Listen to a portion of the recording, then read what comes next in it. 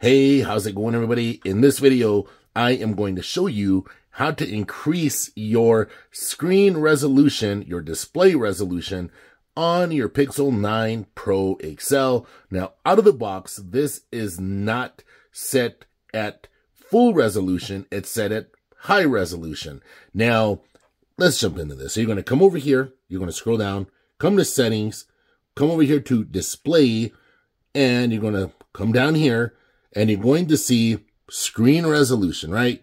Tap on that and you're going to be like, hey, I didn't even know that was there. I didn't even know that was there until I fiddled around inside of my display settings. Now, out of the box, this thing is set at high resolution. And and that's fine. Supposedly you're going to get better battery life if you leave it right there. You need to know though, you have a five, you have a, it's, it's a little over 5,000 milliamp battery in this device right here. So even if you're cranked up to full resolution, it's not going to cause any more problems, all right? But remember, if you're going to switch your resolution to high, um, I recommend if you're going to make this switch, you need to go ahead and restart your phone. That way everything is just where it needs to be, but you can read that little disclaimer down there. Full resolution uses more of your battery. Switching your resolution may cause some apps to restart. Like I said, I recommend you just restart the whole phone.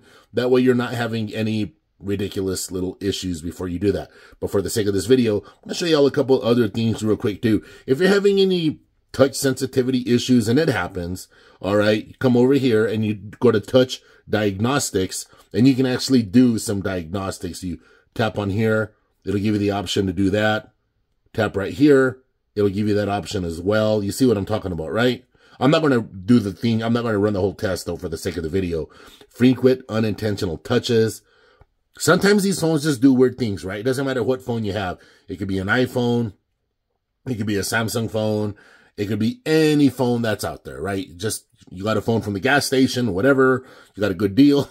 they all do that, right? But anyway, on your Pixel 9 Pro XL, this is how you would go about doing that, all right? So real quick, I just wanted to say the display on this device is awesome. I have not had any issues at all. I actually really, really like it at all. I want to come over here. I want to show you a photo that I took yesterday when I was wandering around, I guess you could say, like the Arizona desert.